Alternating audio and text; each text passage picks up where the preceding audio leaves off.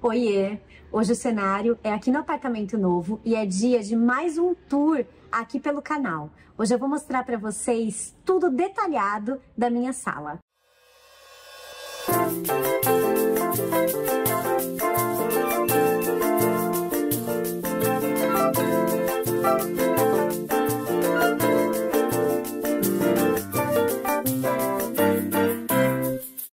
Gente, eu tô super feliz de estar tá mostrando para vocês cada detalhezinho, né? E como eu falei, esses vídeos de tour detalhado por ambiente, eu ainda não estou gravando com o apartamento completamente pronto. Falta tapete para chegar, falta decoração para colocar nas prateleiras, tá? Mas eu quis mostrar dessa forma para vocês por dois motivos. Primeiro, porque se cada vídeo detalhado tá ficando tão longo para eu conseguir mostrar para vocês todos os detalhes, imagina se eu fizesse um vídeo só. Eu nunca ia conseguir aprofundar dessa forma e eu tô querendo muito, sabe? Realmente compartilhar com vocês todos os detalhes aqui do AP, aproveitando, né, que é um momento onde eu consigo fazer vídeos um pouco mais longos e mais detalhados para vocês por estar aqui na minha casa.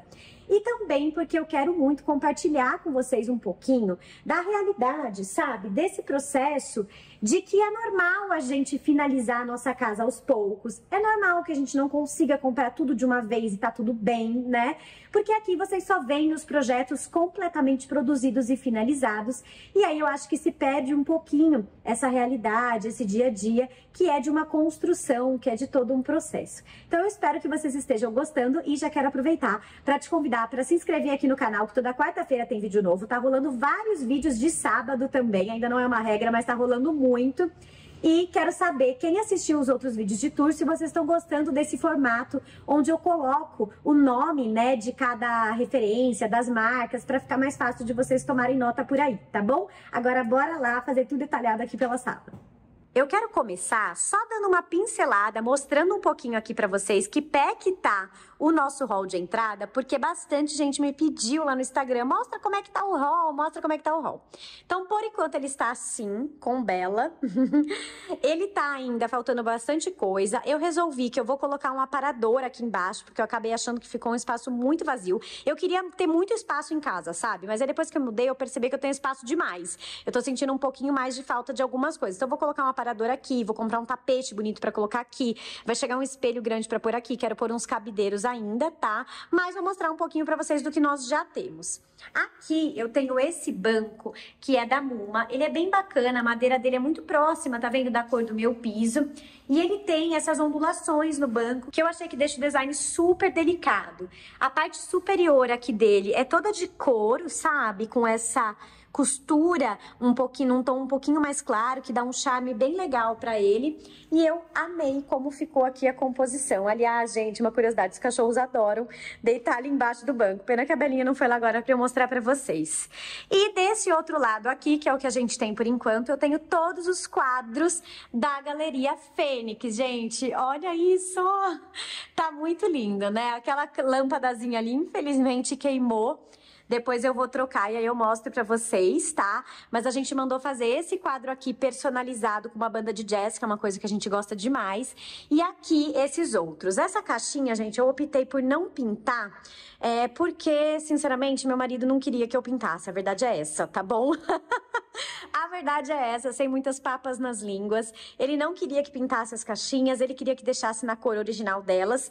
E aí, inclusive, esse foi um dos motivos pelo qual eu falei: tá bom, então vamos deixar as caixinhas assim, mas então vamos comprar um aparador para pôr na frente, porque tá muito feio. Isso aqui é necessário, tá? São caixas de passagem para fiação de automação, de rede, de um monte de coisa que a gente tem no apartamento. E aí, aqui eu coloquei essas lumináriazinhas, olha, que são da Golden Art, que são luminárias que é, reforçam, né, ali a beleza dos meus meus quadros. E esses quadros aqui da Galeria Fênix são todos pintados à mão. É tão bonito, gente, de olhar. Eu amo meu hall de entrada, sabe? Olha, as pinceladas, sabe? Tem textura diferente, eu gosto muito. E esse daqui é o do jazz que a gente fez personalizado com o artista deles, que é o Pedro Terra. E aí a gente fez nesses tons mais quentes também. Então, por hora, gente, é isso que nós temos aqui no hall de entrada, mas matei um pouquinho da curiosidade para vocês. Olha a patinha, pra trás. Eu não aguento. Matei um pouquinho da curiosidade de vocês e agora vamos aqui para a sala, que é onde a gente tem mais coisas prontas, tá? Então, logo que a gente chega aqui na sala, a primeira coisa que a gente tem é esses quadros gigantesco, também da Galeria Fênix. Meus quadros são todos de lá. Esse aqui é um artista maravilhoso que eu adoro e eu queria um quadro bem grandão, ainda nem acredito. A luminária está tortinha de propósito, tá?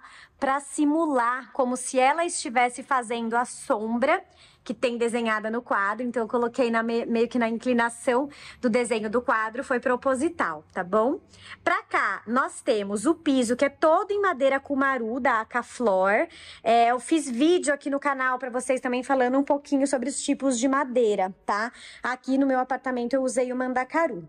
Compramos esse tapete, que é um tapete persa, mas em tom de azul, que eu fiquei apaixonada. Ele tem esses efeitos mais manchados mesmo, porque geralmente tapete persa é antigo, né, gente? Eu não sei se todo mundo sabe disso, tá? Mas sempre é um tapete antigo, então comprei esse tapete aqui também. O meu sofá é da Creme e ele tem uma diferencinha de cor entre esse módulo e aquele lá. Eu quis fazer esse jogo de tons de cinza para sair um pouquinho daquele padrãozão, sabe? E aí, vindo pra cá, a gente tem nesse cantinho da cozinha a pintura do crânio, que eu já mostrei pra vocês, mas vou mostrar de novo, porque eu acho que sempre vale relembrar. Ela também é uma pintura toda feita à mão, então aqui no meu apartamento tem muito essa valorização dos trabalhos manuais, né? E aí, dentro desse contexto do pintado à mão, a gente tem aqui nesse espaço o ladrilho hidráulico, um painel todo feito com o ladrilho linha da Ladrilar, que é esse tom de cinza com os risquinhos em branco. Vocês conseguem ver que esse revestimento tem uma cor diferente desse, que é diferente desse, que é diferente desse, que ele tem como se fosse umas manchinhas? Isso é natural do ladrilho hidráulico, tá? Eu sempre gosto de falar sobre isso para os clientes para alinhar a expectativa. O bonito desse material é isso, é ele ter essa característica artesanal, essa característica onde uma peça é diferente da outra, tá? O bonito desse material é isso. Se você não quer isso, não é esse o material que você gosta. Eu amo, fico apaixonada, porque eu acho que é uma coisa que mostra que é muito exclusivo, que não é produzido em série, sabe? Como eu falei, eu gosto muito de tudo que é feito à mão. Então aqui para mim foi super importante ter esse ladrilho como um ponto de destaque mesmo mesmo aqui para esse projeto. Aqui eu tenho essas duas, essas duas poltroninhas, chama Trevo Drink, tá? E é da Prototype, que é um fornecedor é, que eu adoro de móveis também. Aqui ainda vai vir um, um tapete nesse piso. A minha mesinha, ela é da Traço Objetos e ela é toda de concreto, ó, no mesmo mood aqui desse painel. E aqui eu tenho essas duas arandelinhas que são da Luxion. Aliás, todas as luminárias decorativas aqui do apartamento são da Luxion, tá? Então, essa daqui é da Luxion, essa daqui também é da Luxion, essa que fica aqui em cima da minha mesa, tá? Tudo que eu usei decorativo é da Luxion e as minhas luminárias de teto são todas da Labiluz. E aqui eu usei essa iluminação com perfil, tá vendo? É um perfil de LED, mas ele tem um leve spotzinho para iluminar o ladrilho e aqui também. Aí eu faço a orientação, olha, de para onde que eu quero os, que os spots iluminem, tá? Aqui, esse vocês sabem que é o nosso cantinho do vinho, né? E aqui a sala, ela tá integrada com a cozinha aqui nessa ilha. Então, eu fiz aqui essa banqueta, essa banqueta é da Ondo. Eu fiz aqui esse recuo, né, para encaixar essa banqueta da Ondo. Eu queria uma banqueta que fosse de madeira para ficar bem camuflada com esse painel ripado. E eu amei essa, porque ela é bem slim, mas tem um pouquinho de um encosto também. Então, quando o Raoni tá cozinhando aqui, porque geralmente é ele que cozinha, né? Quando ele tá cozinhando aqui, eu sento aqui nessa poltroninha e fico tomando meu vinhozinho. Este painel esconde um segredo. Olha aqui o que temos aqui embaixo. A gente tem tipo um fundo, né, que ficou entre o armário da cozinha pra cá. E aí eu fiz essa portinha. Ali ainda temos uma pendênciazinha que tem um rodapézinho descolando. Então a gente vai ajustar ainda, tá? E aqui desse lado da bancada, que vocês estão vendo esse painel fixo, gente, eu também fiz armário. Olha só que legal. Esses armários eu adoro fazer. Esse daqui, ele tá ao todo, eu acho que ele tem uns 15 centímetros, 18 centímetros por aí. E é muito bacana para colocar essas taças, sabe? Essas coisas assim, porque fica tudo à mão, você consegue enxergar. Então eu tenho essa portinha aqui, como vocês viram, tá vazia, né? E aqui também eu tenho esta outra portinha com outras taças. Falando em taças, não podemos esquecer, né, meus amores, que aqui temos uma adega dos sonhos maravilhosa. Essa adega é da Arte de Escaves, se vocês quiserem, depois eu faço resenha também dela, tá? E por que que eu escolhi ela? Aqui em casa, a gente toma muito vinho, gente. A adega tá meio vazia porque ficamos aqui com outras prioridades, né? Ao invés de comprar vinho, a prioridade era comprar as coisas pro apartamento. Mas a gente toma muito vinho. Quando a gente viaja, a gente compra muito vinho também. Então aqui a gente queria ter essas três áreas para ter as três divisões de vinho. Aqui fica o vinho que é espumante, na verdade, né? Aqui fica o espumante com 6 graus. Aqui fica o vinho que é branco com 10 graus. E nesse maior aqui fica o vinho tinto. Olha só que legal. E aí tem aqui toda essa parte interna da adega, tem uma luzinha que a gente pode acender, ó, que ela fica iluminada. É, tem essa, essa gradezinha metálica que a gente puxa pra frente também para acessar. Vou acender a luzinha dela para vocês verem. Olha, você vai receber uma visita, alguma coisa assim, você pode acender as luzes da adega, né? Ou até para você enxergar melhor, que esse é o principal objetivo, na verdade, né? Eu não gosto de deixar acesa, que eu acho meio brega, eu confesso para vocês, tá? Então eu só acendo quando eu quero olhar mesmo, né, a parte interna da adega, enxergar melhor os vinhos, tá? Mas a gente ficou apaixonado por essa adega, porque além de maravilhosa, ela atende muito bem a nossa necessidade de ter espaço para os três tipos de vinho. E aqui, não sei se vocês lembram, mas tinha um espaço um pouco maior em volta da adega, e até vocês me perguntaram lá no Instagram, ai Nath, vai ficar esse espaço tão grande? Eu falei que não tinha terminado ainda. Agora a gente já finalizou, e a gente tem duas portinhas que ficam aqui do lado da adega, olha só que legal. Aqui eu fiz um armário que tem esse puxadorzinho aqui na cava. E quando a gente abre, ele é todo verde por dentro laqueado. Olha que fofo. É uma graça, né? E aí aqui tem mais nicho para vinho ou para outras bebidas. Gente, sim, a gente bebe muito, a gente gosta de fazer festa em casa, de receber pessoas, sabe? De fazer jantar para amigos. Então agora tá tudo vazio porque a gente ainda tá pagando as contas do apartamento, né, meus amores? A realidade é essa, mas logo logo a gente já vai comprar essa parte de essa parte aqui das bebidas para preencher esse espaço, tá? Aqui eu falei pra vocês que eu comprei esse freezer, que ele era branco. Quem lembra, quem não lembra, corre lá nos últimos vídeos pra dar uma olhada. Aqui ainda tem, olha, um último vestígio do freezer branco que vai sumir, tá bom? Não, não comentem. Ai, que horror, você deixou assim. Não, eu falei no começo do vídeo que não tá finalizado ainda, que eu tô mostrando pra vocês que ajustes são normais. Eu consegui envelopar esse frigobar, acho que foi na semana passada. Eu fiz um envelopamento com um, um material que imita um couro, estão vendo? Eu achei que ficou bem bonito, bem sofisticado. Só que aqui, gente, quando é muito arredondado assim e pequenininho, os meninos não conseguem passar o produto do envelopamento. Então aqui eu preciso pintar. Aí eu comprei agora a tinta, preciso pegar um pincelzinho para fazer a pintura. Eu mesma vou fazer e mostro para vocês depois, tá? E aqui temos o meu bar maravilhoso. Quem fez toda a bancada aqui pra mim foi a Pedras Morumbi, que arrasou, gente.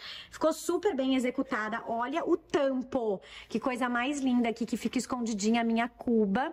Eu vou abrir ela aqui pra vocês daqui a pouquinho, pra vocês verem os detalhes dos encontros aqui da bancada. Eu amo trabalhar com a Pedras Morumbi, eles são incríveis e realizaram todos os meus sonhos aqui. Então fica a dica aí para quem estiver procurando uma marmoraria de confiança. Eu adoro eles. O meu tampo do bar aqui é em Decton, tá?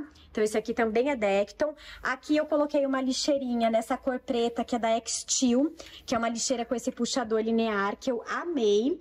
Nessa área aqui ficou uma área seca onde eu deixo a bandeja e aqui ficou a área molhada onde a gente faz o preparo dos drinks, tá? E aí, aqui na parte de baixo, eu tenho uns apetrechos de baixo que a gente ainda não organizou tão bem. Aqui tá esse negócio de água com gás, soda stream, que é a coisa mais linda que eu adoro. Só que esse rosa não combina em nada com a minha casa. Então, enquanto eu não consigo comprar outra, ela vai ficar escondidinha. Aqui a gente também tem uma máquina de gelo da Gelopar, que é bem legal. Agora ela tá sem gelo. Geralmente a gente põe pra fazer mais perto do final de semana, né? E outras coisinhas que eu deixo aqui, sabe? E toda a parte técnica ali das cubas e tudo mais. E aí aqui temos as bebidas. Aqui a gente já andou comprando algumas, porque, gente do céu, cabe muita bebida aqui. Fora aqui, dá uma olhada nisso, né? Olha só, cabe uma bebida na frente da outra. Então, assim, cabe muita bebida mesmo. A gente nunca vai poder reclamar de querer um bar maior. Então aqui foi um lugar que eu já comecei a comprar umas bebidinhas, a gente quer ainda comprar outras especiais, né, que a gente tá sem agora, mas essa é a nossa área do bar e aqui tem um destaque muito legal que eu queria mostrar para vocês, que é essa prateleira. Eu fiz as minhas prateleiras aqui, gente, todas em serralheria, por isso que ela é tão fininha, tá? Essa prateleira é uma prateleira que tem um valor bem mais alto do que uma prateleira convencional, é lógico, tá? Mas eu queria trazer esse efeito mais leve, leve, mais moderno, sabe? E eu queria também fazer alguma coisa diferente para vocês verem outras possibilidades. Então, assim, para mim, valeu a pena demais. Ah, e outra coisa, esqueci de falar. Uma das coisas também que eu conversei na época do projeto com meu marido, de fazer a prateleirinha em serralheria, era porque, quer queira, quer não, a gente ia ganhar cerca de 2 centímetros entre uma prateleira e outra. E como a gente queria aproveitar ao máximo o espaço, a gente acabou fazendo isso, tá? Aqui no cantinho tem um detalhe muito lindo que eu quero mostrar pra vocês, gente, que é esse. Olha isso aqui. Pra mim, ele é um cabideiro, né? Com essa caveira toda de Swarovski, tá? Mas na verdade isso aqui é um puxador de marcenaria. É da Zen Design. E eu usei ele aqui, quando eu vi isso eu me apaixonei, porque ele é muito delicado, é muito fofo. Eu achei que tem um mood, assim, que tem tudo a ver com o bar. Inclusive aqui eu tenho uma outra caveirinha, que um dos arquitetos que já trabalhou com a gente no escritório trouxe pra mim de presente de uma viagem. Eu sou apaixonada por ela, eu deixo sempre aqui nesse cantinho, né? E é, quando eu vi esse puxadorzinho da Zen Design, eu falei, gente, isso vai virar um cabideiro na minha sala. Por quê, gente? Quando nós vamos preparar aqui os drinks, a gente precisa usar uma, um paninho de prato, né? A gente precisa, porque mexe na água, mexe com as coisas, lava a mão, quer enxugar uma taça, tem que usar. Só que isso aqui é horrível para ficar no meio da sala, para ficar jogado. Então, olha o que a gente faz. Quando a gente vai usar, a gente usa esse cabideirinho, né, vamos chamar assim, para deixar a toalha ali. Aí eu peguei essa, esse pano de prato que é preto, né? Mas no dia a dia, que é quando a bancada do bar aqui fica toda camuflada, eu não queria que ali ficasse exposto um cabideiro, literalmente, sabe? Então eu achei que essa foi uma peça que coube muito bem para esse espaço, porque a gente tem um cuidado com o design, tem um cuidado de ser uma peça decorativa, né? E que no dia a dia ela não fica parecendo um cabideiro, ela fica parecendo realmente um detalhezinho bem discreto aqui na nossa bancada. Os meus, é, as minhas portinhas aqui todas têm é, amortecedor, tá? Quem fez, inclusive, toda a marcenaria aqui da sala para mim foi a Lira Móveis. Eu sou apaixonada, eles também são outros parceiros que eu tenho sempre lá no escritório, tá? Então eles arrasaram aqui na execução desse móvel, que não foi uma tarefa fácil. E aqui eu fiz essa dobradiça, eu pedi para eles, gente, essa dobradiça aqui tem um ângulo um pouquinho maior de abertura, que era para quando a gente quisesse pegar as coisas aqui, ter acesso à, à máquina de gelo, a gente não ficasse tão apertado, porque se abrisse só assim, ia ficar mais apertadinho. Então, essa folga, ela dá um conforto maior, sabe? Agora, eu vou abrir aqui para mostrar essa bancada para vocês, espera aí. Olha só que legal, gente, no dia a dia, fica com esse tampo de pedra, Aí a Pedras Morumbi fez para mim esse recorte aqui mais angulado. Então eu puxo, tiro daqui e aí eu tenho aqui escondidinho uma cuba, olhem só, com torneira retrátil. Então, a torneira retrátil fica aqui, né? Ela é da Deca, ela chama Cuba Super Ride, tá? E ela fica aqui embutida. E eu tenho até um acessóriozinho aqui, daqui a pouco eu vou mostrar pra vocês melhor, que esconde a buchinha e ela fica aqui mesmo que a gente não use diariamente. Aí eu vou mostrar pra vocês como é que funciona essa cuba. Eu giro pra cá o monocomando, né? E aí eu levanto a torneirinha, ó. Aí ela faz um clique, ouve? Vendo? Ela faz esse clique, gira pra cá, e aí eu consigo abrir pra usar. É demais, gente. Essa cuba, eu vi ela quando que foi? Eu vi ela no Casa Cor e eu fiquei completamente apaixonada, sabe? Eu amei, falei, gente, isso é um sonho, eu preciso ter isso lá em casa no meu bar. E aí meu marido também adorou, que o bar não é só meu, né? Dele também, óbvio. E... Mas também não é só dele, é meu também. e aí a gente colocou aqui em casa. Esse foi um investimento que eu acho que valeu muito a pena. Era uma coisa assim que a gente queria muito. Vou mostrar mais detalhe para vocês aqui de pertinho. Olha só como ela é bonita, gente. O acionamento e a torneira tem esse design, né? Que é mais oval, tá? Ela tem uma válvula oculta aqui também que esconde o ralo. Então fica muito mais bonito de você usar integrado, não fica parecendo uma cuba de cozinha, vamos dizer assim, né?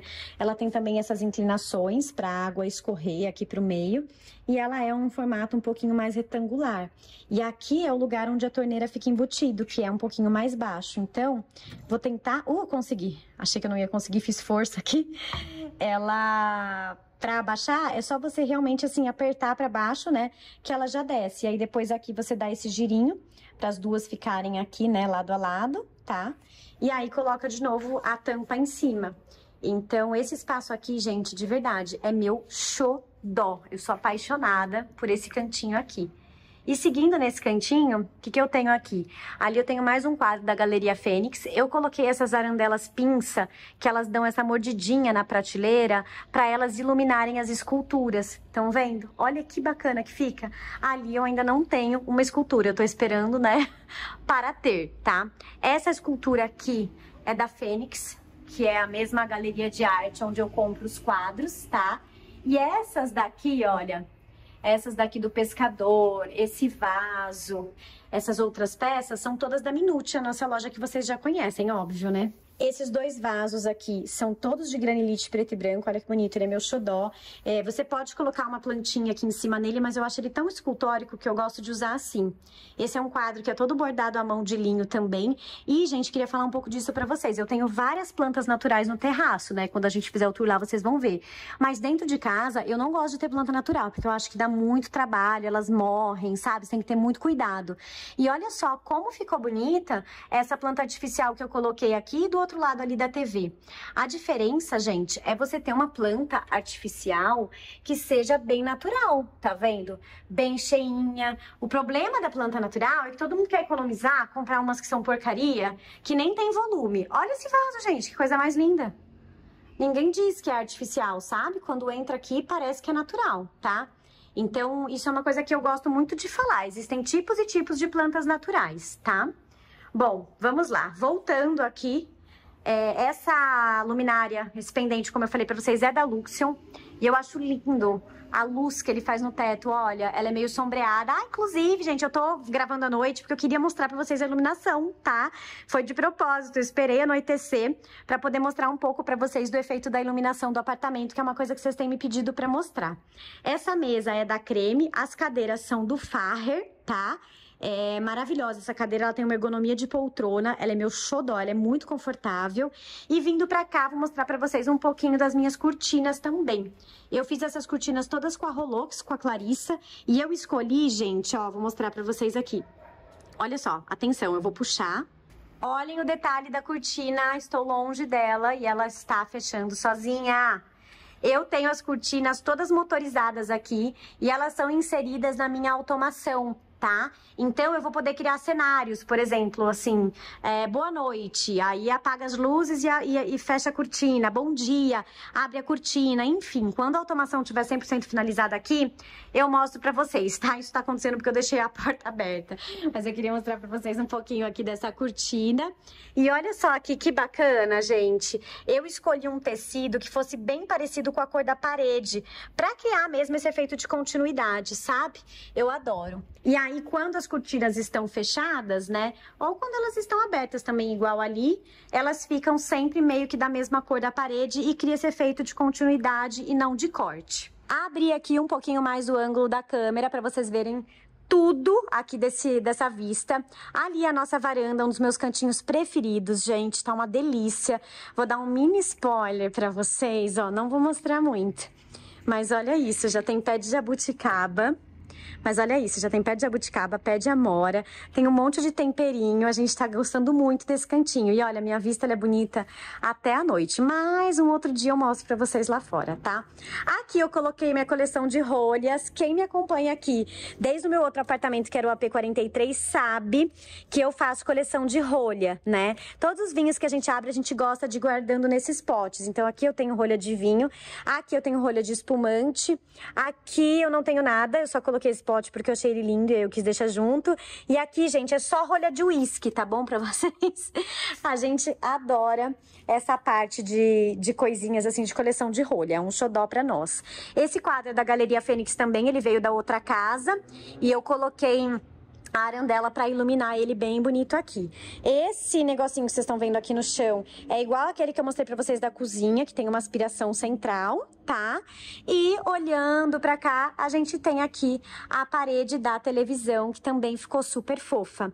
Eu usei aqui, as paredes são na cor ouro branco da Souvenir, a parede da TV é na cor dia de chuva, da Souvenir também no efeito cimento queimado, então ficou bem bonito, bem delicado.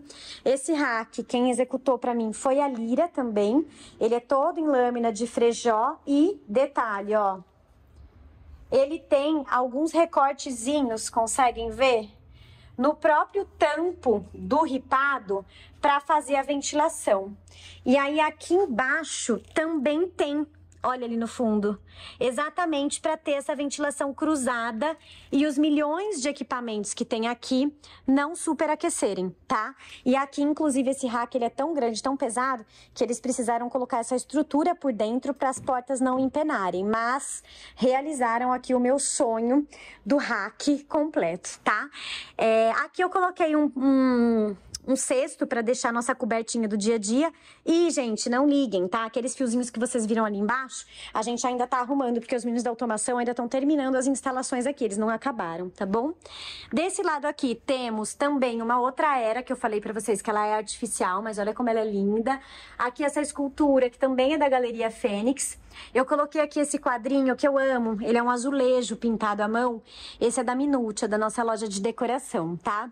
A TV é a The Frame, que vocês já estão aí cansados de ver, que tá super em alta agora, né? Eu também fiz a prateleira nesse perfil metálico e aqui eu laminei a prateleira com é, lâmina de madeira, tá? Voltando pra cá, a gente tem essa vista que é a vista de quem está chegando aqui da varanda para a sala. As almofadinhas também são da Minúcia. A gente tem caixinha de som, sonorização ambiente em tudo aqui. E eu acho que é isso, gente. Ah, eu não falei para vocês a cor desse móvel, né? A cor dele é baleia azul, é uma laca que a gente fez na cor baleia azul, igual o, a cor que a gente pintou a parede da cozinha. E a parte interna dele é toda nesse tom de verde, que é um verde pistache, tá? Tudo laqueado. E aí vou mostrar um pouquinho pra vocês a parte interna. Aqui, que é imediatamente do lado do bar, eu fiz essas gavetas pra copo. Olha que bacana. É óbvio que tem que tomar cuidado, né, gente? Não pode puxar correndo, tá bom? Mas pra mim funciona muito bem, porque esse móvel meu, ele é profundo. Eu não queria ter que ter prateleiras muito altas, sabe? Que eu perco espaço e ficar enfiando a mão lá no fundo da prateleira para pegar os copos, eu não acho tão prático, principalmente quando eu tenho esses copinhos pequenininhos. Então, eu, eu criei esse tipo de prateleira que tem esse dentinho nas laterais, no fundo e um pequeno dentinho aqui na frente também, de maneira que quando a gente abre e fecha, elas não batem, né? É, essas gavetas aqui eu também fiz propositalmente sem é, amortecedor, tá? Exatamente para elas não darem aquela batidinha, né? Quando fecha. E aí eu fiquei com essa área toda aqui só para os meus copos, taças de drink, que fica pertinho do bar. Aí vindo para cá, eu tenho a mesma composição nos dois espaços, tá? É, eu tenho duas gavetinhas menores aqui em cima, onde a gente coloca alguns jogos, e aqui no caso nada ainda, né? E aqui, gente, nossa, tá cheio, vocês vão ver. gente, os meus armários inteiros da casa estão vazios, porque como eu falei para vocês, eu morava num apartamento muito pequeno, né? Então nunca tive muita coisa, sabe? E tá tudo bem, né? Acho que a vida é assim mesmo, a gente vive fases, mas agora que eu tenho bastante espaço e que eu pretendo aumentar minha família, né, daqui um tempo, ter filhos e tal, eu acho que vai ser muito bom pra gente ter bastante espaço. Aqui eu deixo alguns talheres, depois eu quero fazer uma divisória bem fofa, sabe? Pra colocar esses talheres mais frescurentinhos, assim, que eu tenho, que eu acho uma fofura. Aqui eu tenho alguns guardanapinhos desse de tecido, que eu quero também organizar com mais calma. E aqui eu tenho esses susplá sabe? Esses, ah, umas toalhinhas de mesa também, que assim, tem alguns que estão bem velhinhos, eu preciso fazer uma limpa por aqui. E lá embaixo está vazio, mas o que eu queria mostrar para vocês é que é um charme esse móvelzinho de duas cores, sabe? É tipo uma surpresa gostosa toda vez que a gente abre, né? Vocês viram que aquele perfil ali, ele tem spot nas pontinhas, esse aqui também, né? E esse aqui também. Mas o que fica aqui nessa área do sofá não tem, vocês repararam? E é de propósito, por quê? Porque o spot, ele faz uma luz mais forte. Ó, vou virar o vídeo aqui para vocês verem. Tá vendo como essa luz, até no próprio vídeo, ela dá uma, né? Uma forçada na vista, sabe? Então ela não é uma luz tão confortável para quando você tá sentado ou deitado no sofá. Por isso que aqui no meio a gente não colocou o spot, porque essa luz é uma luz mais gostosa, tá bom? E é isso, amores. Eu espero que vocês tenham gostado de conhecer de forma detalhada mais um cantinho aqui da minha casa, que é um cantinho que a gente fica muito, que a gente planejou com muito carinho. O próximo vídeo aqui do canal, acho que vai ser a suíte do casal, que foi uma que vocês pediram bastante, tá? E aí depois, no final de tudo, depois que eu fizer todos os tours detalhados e que eu conseguir receber o tapete, receber as decorações, tudo que tá faltando, eu vou fazer um tour geralzão, só que menos detalhado, né? Pra vocês em todo o apartamento e aí vou colocar fotos do antes e depois também para vocês curtirem um pouquinho comigo essa transformação, tá bom? Muito obrigada, um super beijo e eu te vejo por aqui. Se inscreve no canal. Tchau!